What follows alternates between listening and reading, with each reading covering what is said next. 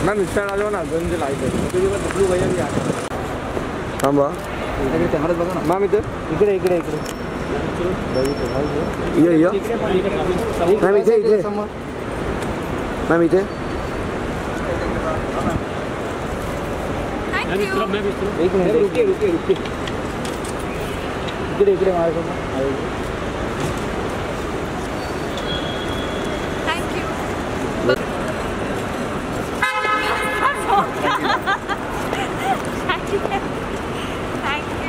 करायला लागतं वॉकिंग तर घ्यायला लागतं ना.